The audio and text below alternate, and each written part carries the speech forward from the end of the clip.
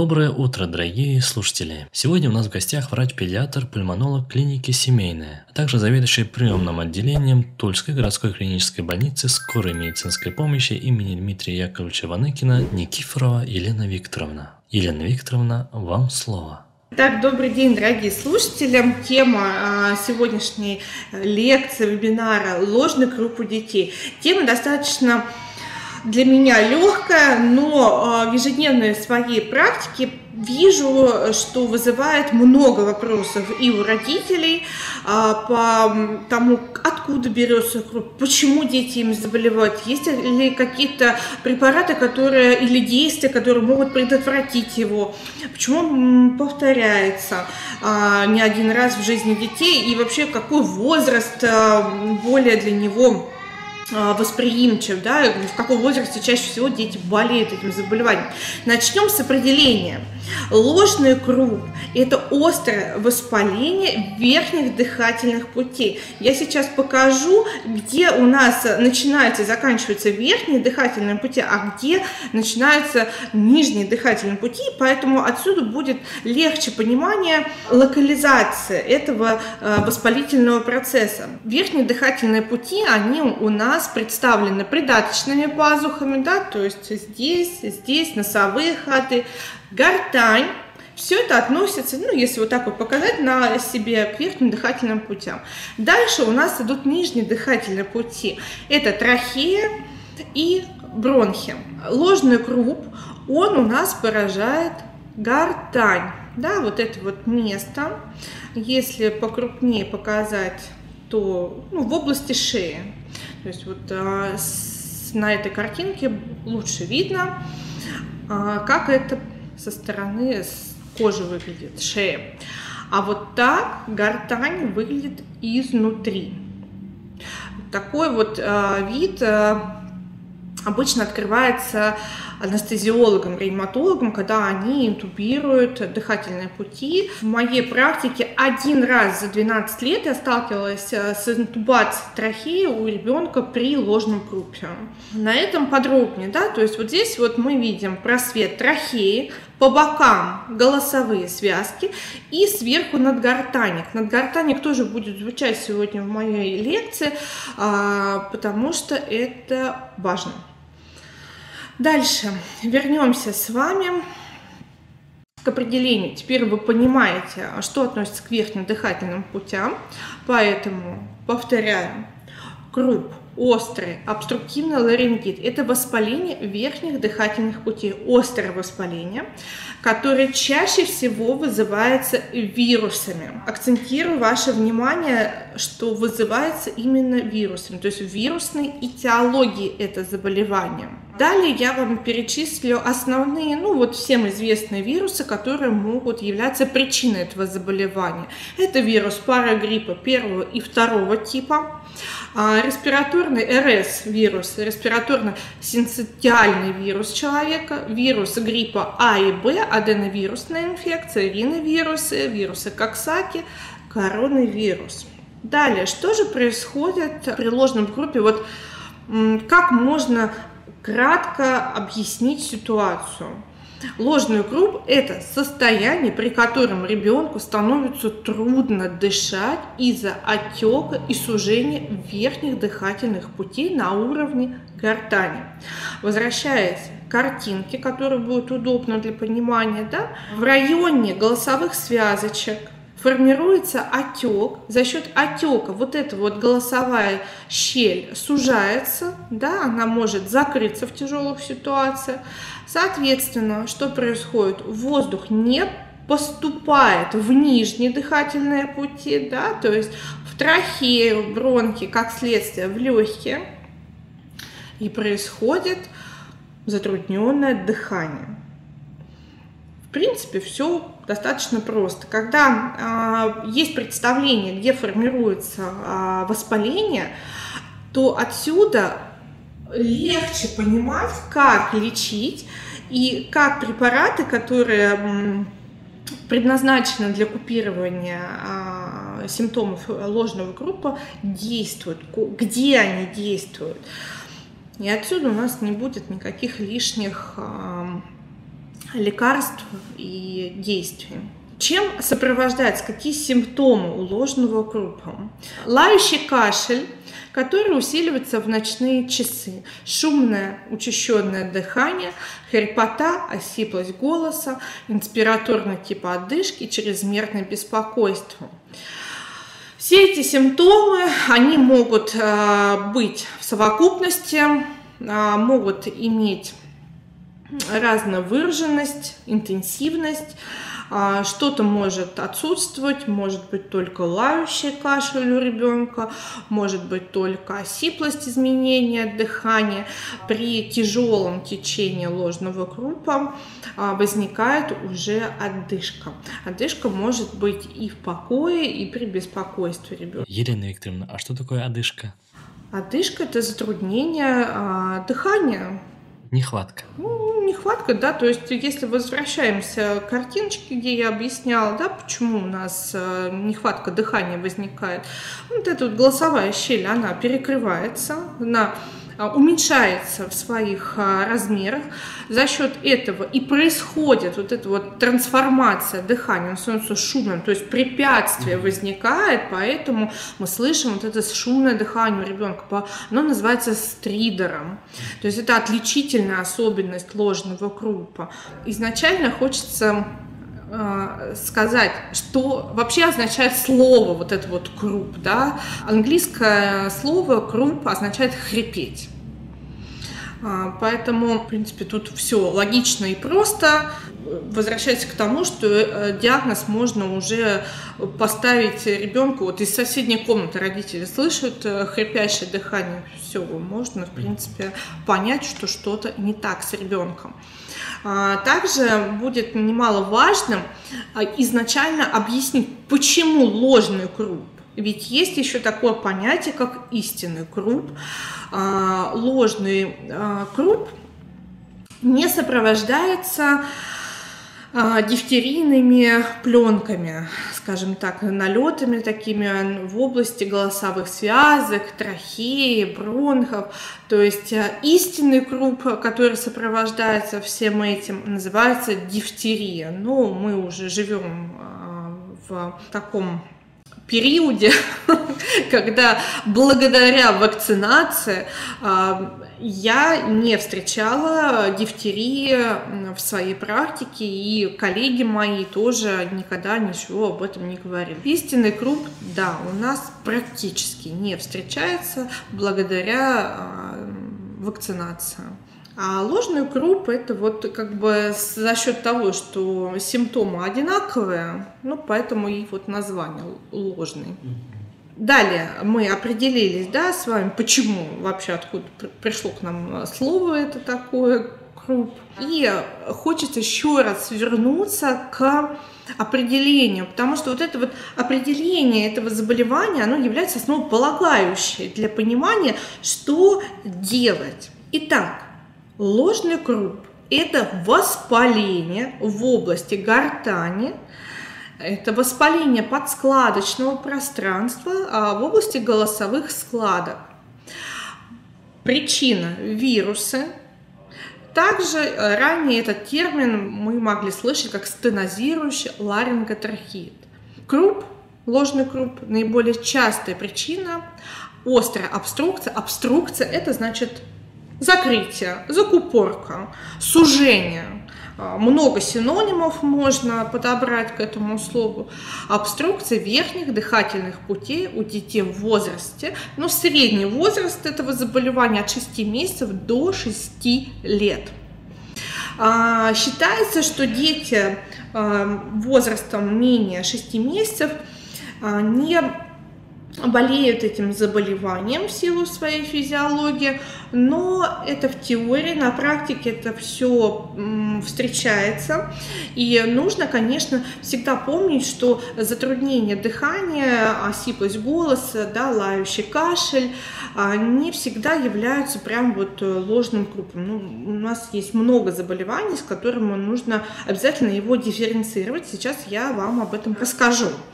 И вот первое заболевание, с которым нужно дифференцировать ложный круг, это эпиглотит. у них есть различия.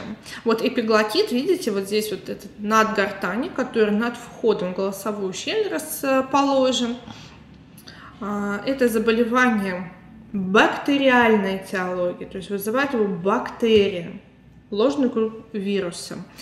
И причиной а, эпиглотита является гемофильная палочка, гемофилиус инфлюенса типа Б, от которой мы тоже а, вакцинируем детей, а, учитывая, что дети в большинстве случаев вакцинированы, это заболевание редкое. В своей практике я встречала его один раз – но подвержены больше этому заболеванию взрослые люди, ну, так как уже они э, забывают о своей вакцинации. Ну, эта тема уже а, не моего профиля. Поэтому так же, как и дифтерия, истинный круп, это заболевание у детей сократилось за счет вакцинации. Как начинается ларингит. То есть симптомы мы с вами обсудили, да, еще раз а, перечислю, это лающий кашель, шумное учащенное дыхание, хрипота или осиплость голоса, одышка и беспокойство как следствие всего этого.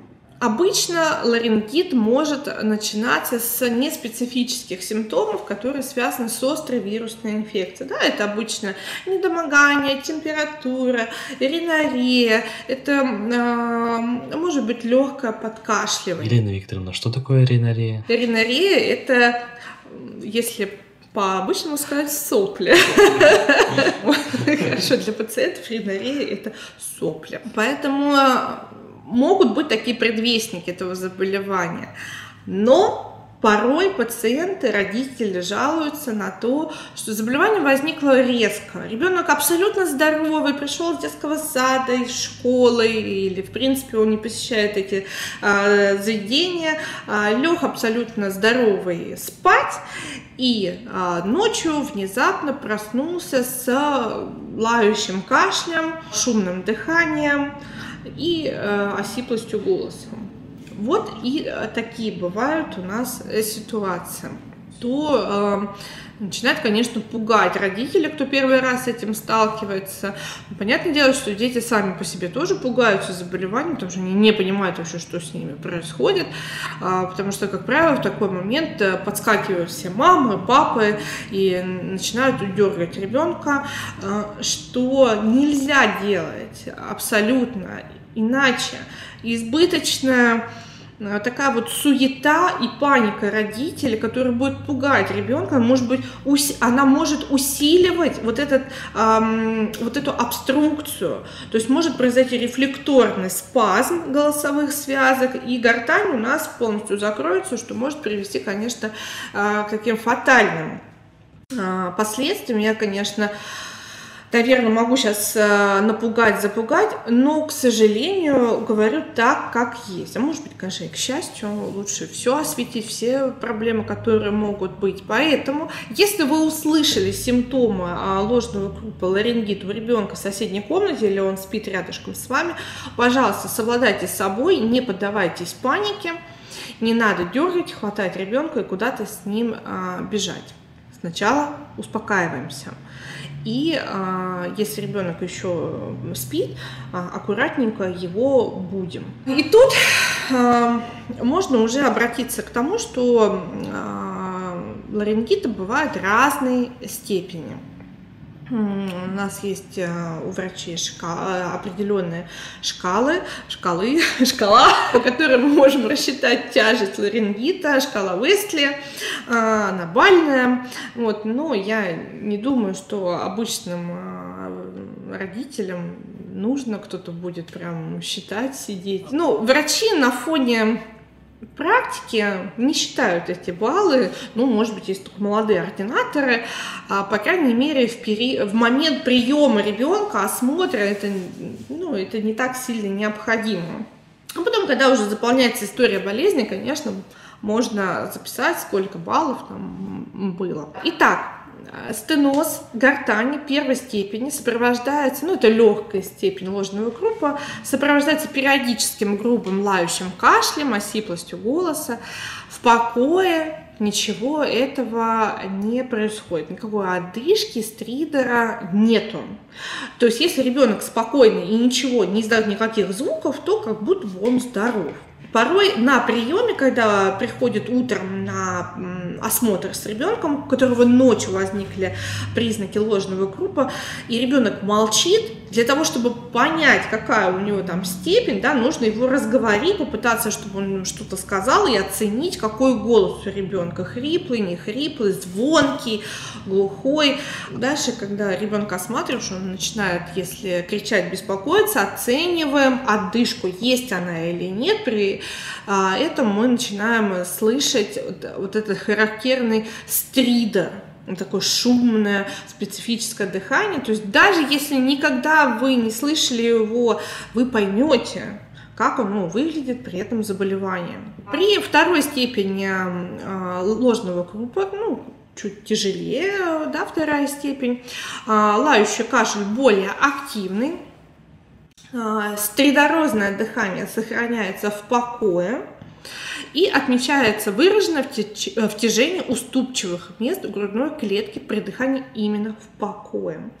Уступчивых мест ну, смотрим на еребную ямку. Это вот эта вот область, она втягивается у ребенка в покой. То есть вот он, если я сижу, разговариваю, у меня все здесь ровненько, да, то у ребенка в покое он может ничего не делать, просто дышать, и она будет как бы впадать. Вы увидите эту ямочку у ребенка третья степень. То есть, соответственно, это все более выражено. Все а, предыдущие симптомы комплекса, они будут более выражены, уже ребенок будет беспокойный. Это не просто он капризный, его разбудили, ему уже страшно, он не может по факту вам ничего этого сказать, да, маленький ребенок, он просто будет, конечно, и кричать, и плакать, и а, э, кашель будет сильный, осиплость будет выраженной дых, голоса, и э, дыхание будет явно привлекать ваше внимание своей стридорозностью.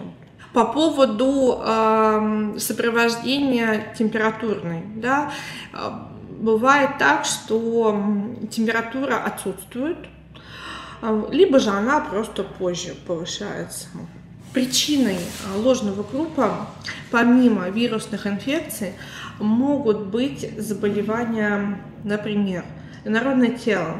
Да? Маленькие дети ползают, все тянут в рот.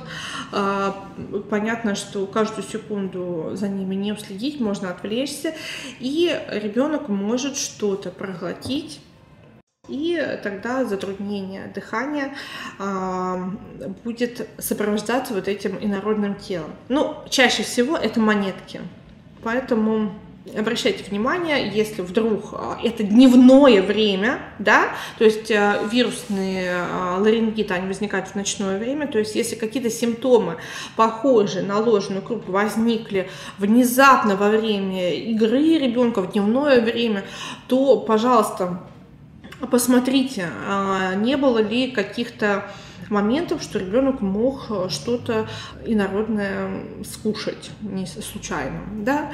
А, также, если возникают признаки ложного группа, например, у детей месячного возраста, я сказала уже, что а, в средний возраст начала ларингита приходится от 6 месяцев до 6 лет.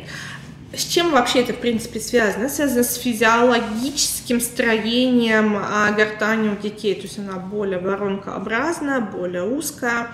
А, поэтому пока а, ребенок не вырастет, у него может быть склонность к ларингитам.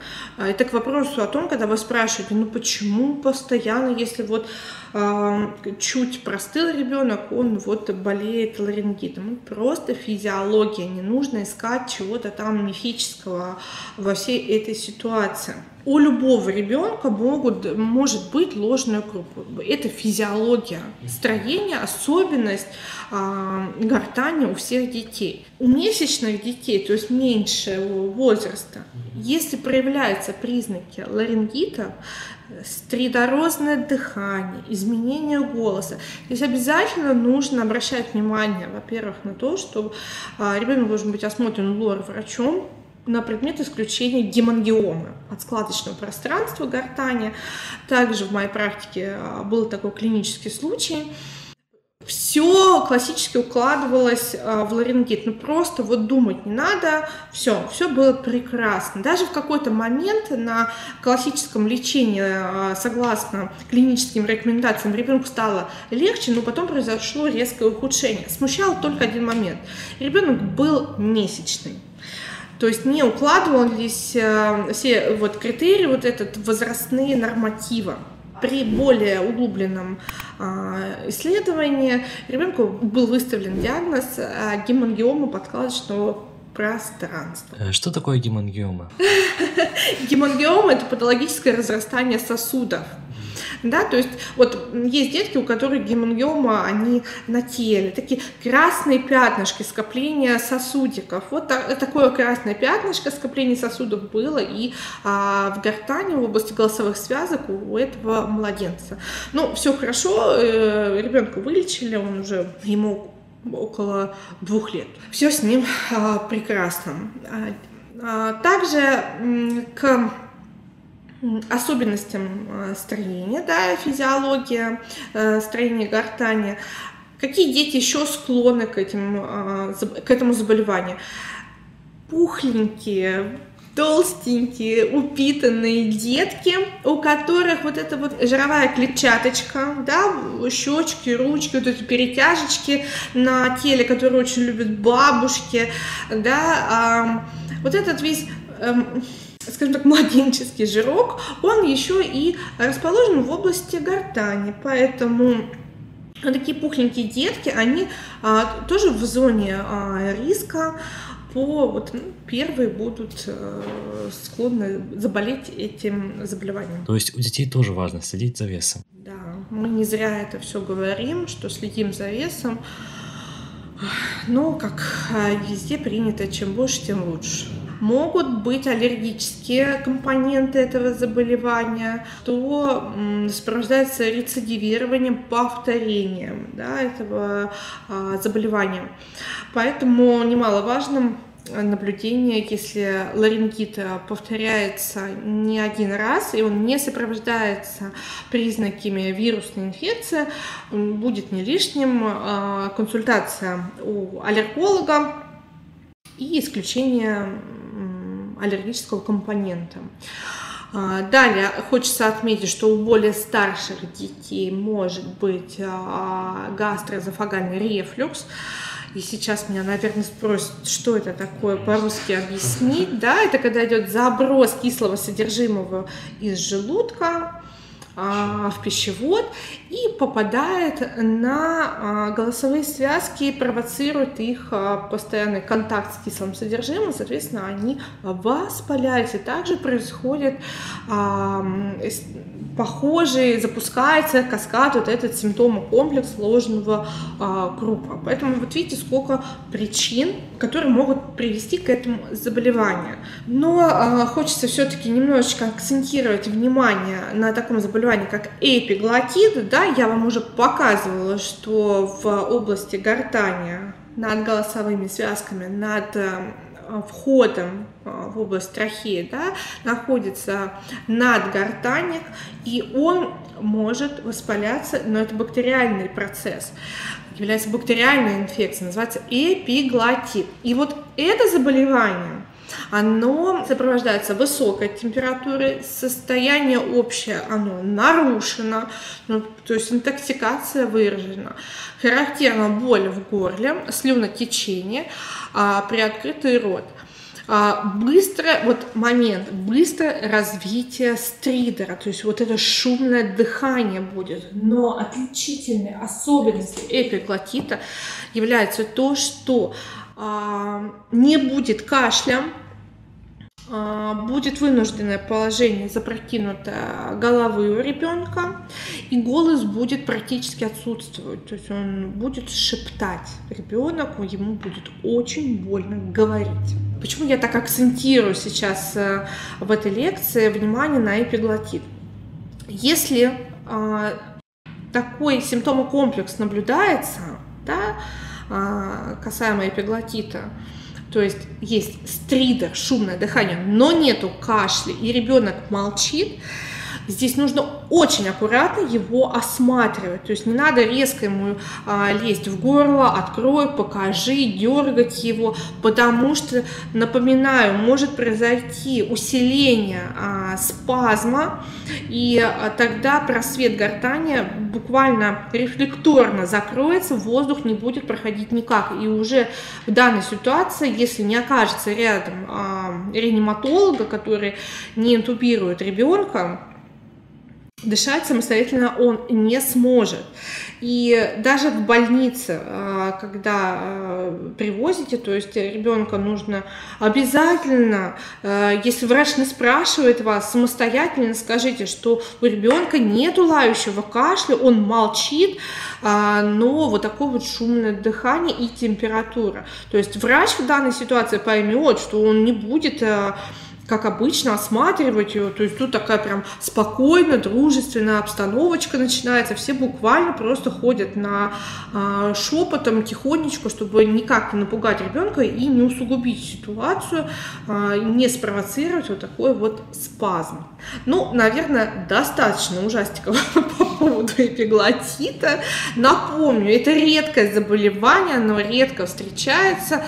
Э, я лично видела его один раз, да, я практически не дышала, когда поняла, что это эпиглотит. В принципе, можем перейти к интересному разделу, как лечение а, ларингита, ложного группа.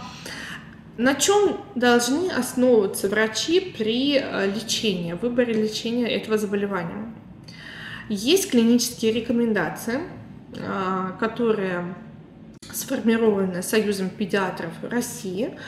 Вот, они пересматриваются а, с кратностью, поэтому вот пока идет 2023 год, клинические рекомендации, они в открытом доступе находятся, они работают и а, активны сейчас. Вот на основании этих рекомендаций я сейчас и расскажу вам про лечение. Итак, Возвращаемся к этиологии заболевания, вирусная, да, поэтому антибактериальная терапия не рекомендуется для а, терапии крупа. Она просто будет неэффективна. Будет эффективна антибактериальная терапия, если а, есть доказанные признаки бактериального осложнения этого заболевания. Если а, мы подтвердили, что причиной этого заболевания, этиологии является грипп, то здесь будет э, правильным назначить э, препараты, ингибиторы нейроминидазы. А, торговое название, конечно, не выговорить, вернее, действующее вещество. Но если говорить торговое название, то всем будет эм, на слуху, и все слышали, это, например, Намидес, это Тамифлю. Конечно, это будет решать врач. Обращу внимание, что вообще неосложненное течение ложного крупа купируется в течение 48 часов. Поэтому порой а, это саморазрешающаяся ситуация, если все идет без осложнений. У нас сейчас есть хороший такой доступ к ингаляторам. Если ранее, лет 15 назад, еще, да, когда я училась в институте, я видела на практике, что терапия ложного группа осуществляется с помощью паровых ингаляций, но это был как такая степень, ну, что было в доступе, тем и лечили, скажем так. А сейчас в каждом доме есть ингаляторы, а, мышь-ингаляторы, а, компрессионные ингаляторы. И все знают такое лекарство, как а, будисонид. Так вот, а, этот препарат и является стартовым, основополагающим, который показал свою высокую эффективность а, для применения в лечении ложного группы. Дальше идут как бы второй линии терапии, это также гормоны, дексаметазон и преднизолон. Если ребенок негативно относится к ингаляциям, то уже э, приходится, конечно, делать либо уколы преднизолона или дексаметазона, либо же уже, конечно, как вариант скажем так, отчаяние давать в таблетированной форме а, эти препараты. Но самое эффективное это а, э, ингаляционное лечение. То есть для купирования группа эффективно ингаляционное введение суспензии будисонита через э, компрессорный небулайзер или меш-небулайзер в дозе 2 мг в сутки. Дозу препарата можно ингалировать за один раз, то есть а, мы можем не добавлять физраствор, сейчас объясню почему, или разделить на две ингаляции по одному миллиграмму с интервалом 30 минут. И вот в 85% случаев, обычно это происходит при стенозе гортани первой степени, а, бывает достаточно одной такой ингаляции. А, который может состоять, ну, скажем так, из двух частей, два, два подхода. Значит, 2 э, миллиграмма будисонита. Будисонит есть ну, разные названия, да, по э, действующему веществу буду говорить. Есть дозировочка 0,25 э, в одном миллилитре. То есть, чтобы было 2 миллиграмма, нужно взять 4 миллилитра будисонида.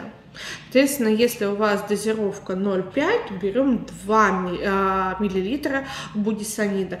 В данной истории, если у вас меш небулайзер, физраствор не нужен.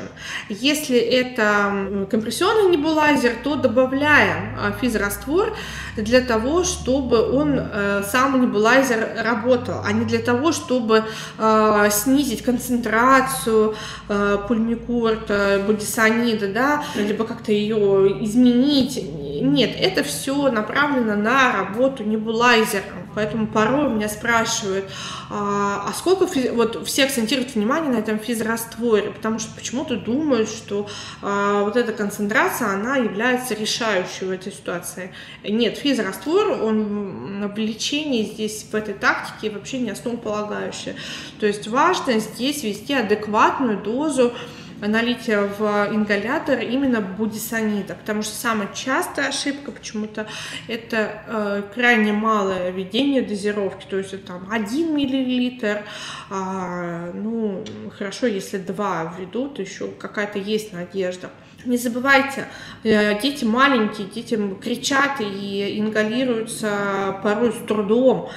А, также идет потеря препарата около 30%, ну, как бы в воздух уходит, но это уже да, такое само по себе. Что делать, если ребенок кричит и не хочет ингалироваться? Я думаю, что это такое прям самое распространенное, да, с чем можно столкнуться. Здесь, конечно, вводим уже гормоны.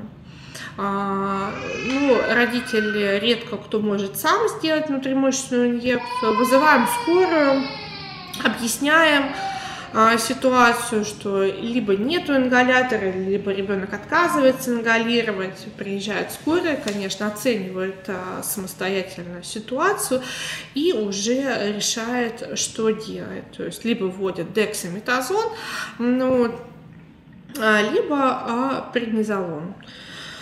Поэтому дозировочки, в принципе, я думаю, что можно вот сохранить на этом слайде. Они есть. Дозировки не придуманы мною. Это все а, из официальных клинических рекомендаций по а, оказанию медицинской помощи приложенным группе. Ну и уж если совсем опять же, повторюсь, ничего нету, и есть таблетки, да, придется давать, перерасчитывать это все в эквивалентной дозе, ну, в таблетированной форме преднизолона. Но, конечно, а, эффект придется ждать долго, потому что пока он а, скажем так, всосется да, в кровь, то это будет это, это время.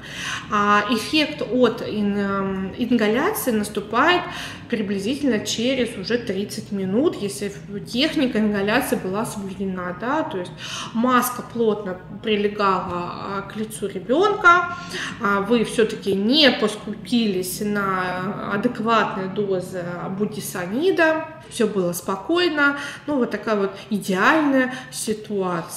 Также отмечу, что есть такой препарат для лечения синдрома Крупа, эпинефрин, адреналин, да. На просторах интернета многие блогеры, скажем так, обыватели, да, э, родители, описывали, давали советы, что вот можно ингалироваться адреналином, эпинефрином а, при ложном крупе. Но у детей в Российской Федерации этот препарат относится к терапии off-label, то есть он не одобрен. Вот. Он не то, что не одобрен, он а, не зарегистрирован а, нету показаний в инструкции к этому препарату, что он разрешен к лечению ложного крупа. А, то есть это может быть а, только с разрешения локального этического комитета в медицинской организации при наличии информированного согласия родителей или законных представителей детей. Да? То есть это такая а, ситуация, когда все решается индивидуально, конкретно в отношении пациента. Я не встречала а, в моей конкретной практике, чтобы этот препарат off-label использовался для лечения а, ларингита у детей. Поэтому, учитывая то, что у нас есть хороший доступ э, всегда к будисониду и на скорых помощи оснащены они этим препаратом, то по большому счету и за счет этого сократилась э, госпитализация с этим заболеванием. По поводу антибиотиков, да, то есть если есть доказанное а, бактериальное осложнение, ну, как можно это понять? Изменение в анализе крови, это повышение лейкоцитов, это отклонение лейкоцитарной формулы, это повышение С-реактивного белка, то есть все, что может указывать на бактериальное а, течение заболевания. Ну, и здесь как бы можно начать лечение с цефтраксима, цефтриаксона, цефтраксин дозировки а, средний 100 мг на килограмм в сутки, цефтриаксон от 20 до 80 мг на килограмм в сутки. Все, что касается сопутствующих препаратов, это все симптоматическое лечение, да, то есть, э, соответственно, если беспокоит ребенка температура, мы обязательно купируем эту температуру, применяем жаропонижающие препараты. Если беспокоит а, ринорея, а, то назначается также симптоматическое лечение. Если у ребенка затронуты нижние дыхательные пути в виде бронхообструкции, да, например, врач слышит свистящее дыхание в легких, здесь добавляются а, препараты, которые расширяют бронхи. А, в рутинной практике этого не происходит, эти препараты не нужны. Антигистаминные препараты также не являются первой линейкой а, выбора при лечении. А, то есть это все отложенные препараты, это все можно уже делать потом в плановом порядке, да. Первое, опять же, запоминайте, а, это ингаляция с будисонидом. Если его нету, это уколы, внутримышечное введение гормональных препаратов. Если их нету, таблетированная форма препаратов, да, если их нету, а, то ну, ищите тогда доступ к медицине. Я не знаю, где вы находитесь, что вообще ничего нету под рукой. Ну вот, по большому счету я заканчиваю. Да, мы сейчас перейдем к вопросам. Что хочется сказать? Самое, самый-самый, наверное, топовый вопрос, с чем приходилось сталкиваться, и э, действия родителей при ларингите, то, что берут и включают теплую воду в ванной, дышат паром теплым. Это все имеет место быть, можно, пожалуйста, этим дышать теплым паром, но никакого прямого отношения это не имеет к лечению ложного крупа. А, тогда, когда вы отмечаете, что вы подышали в ванной, ничего не делали, и вроде все прошло, а, вернемся к моим словам, что а, бывает, если это легкое течение ларингита, ну, он проходит самостоятельно, можно вообще ничего не делать, можно проспать это заболевание, если вы крепко спите. Ребенок покашлял, голос чуть-чуть осип, ну, как бы и все. Поэтому можно ничего не делать вспоминаю случай, когда а, были такие родители, которые ничего не делали, думали, что все пройдет, но состояние ребенка ухудшалось с каждым днем. И дошло дело до того, а, что пришлось интубировать ребенка. То есть, а, опять же, это не произошло там за минуту-две. Да, то есть это происходило в течение нескольких дней. Это вопрос о том, что может быть разное течение этого заболевания. В любом случае, обратитесь к педиатру, пусть он вам посоветует а, хорошее лечение, адекватное, но при этом будет не лишним, если вы будете изначально знать, что есть документы, да, которые регламентируют дозировки а, применение ингаляционных а, кортикостероидов, да, будисонида для купирования первых признаков ларингита. Если вы это все будете знать, будет а, просто всем счастье. Дети будут выздоравливать быстрее, вы будете спокойнее вот, и осведомленнее. Поэтому, по большому счету, я считаю, что я молодец, я все сказала. Да, вот интересный был случай, который мне описали, что каким-то спреем в горло пшикнули и усугубилась ситуация. Не надо ничего э, пшикать в горло ребенку и вообще лишние телодвижения совершать, потому что это может вызвать рефлекторное сужение гортани. То есть, в принципе, все могло бы пройти само по себе, но вы вмешались и усугубили эту ситуацию. Пульмикор, детский дом, всегда на всякий случай. Сын астматик, 14 лет, дочке 1 год и 7 месяцев. Как правильно считать дозировку в момент приступа? Нужен ли физраствор? Ну, на этот э, вопрос мы, в принципе, достаточно емко ответили, поэтому кого интересуют дозировки и вопрос э, с физраствором, все э, уже осветила. Вот вопрос, а воздух именно теплый, влажный должен быть, или можно открыть окно, зима, укутать ребенка, дышать и облегчить состояние? Нету доказанной эффективности вообще вот этим вот действиям, абсолютно нету, а, потому что это все а, какие-то бабушки на советы, которые вообще очень плотно вошли а, в умы врачей, и пока врачи даже постараются искоренить это из своих умов, тоже пройдет время. Ну, давайте, хорошо, я тоже признаюсь, что э, действительно могла советовать вот этот вот теплый, э, влажный э, воздух, ну, тут э, зайти, там, включить душ в ванной.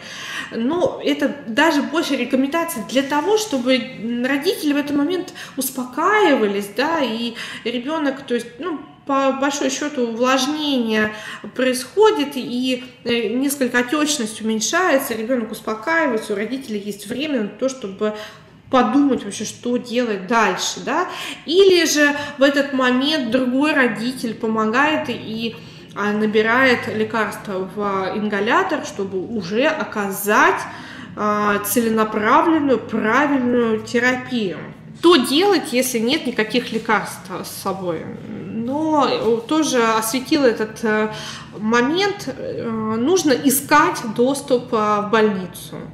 Если симптомы есть, лекарств нет, вы ничего не можете сделать, нужно оказаться поближе к больнице, потому что симптомы крупа, они могут усугубиться, усилиться, в принципе, за несколько часов, да, особенно если ребенок э, будет громко кричать, а, будет э, вокруг него суета, то есть можно усугубить эту ситуацию И, конечно, нужно быть уже э, возле медицинской помощи. В любом случае, если вы не знаете, что делать, или первый раз э, сталкиваетесь с этим, позвоните в скорую, э, объясните, какие симптомы ребенка, что беспокоит. Вам помогут. Врач на том конце телефона, он у вас спросит вопросы, оценит ситуацию и, в принципе, даст, э, ну, либо отправит уже бригаду на вызов, вот, либо даст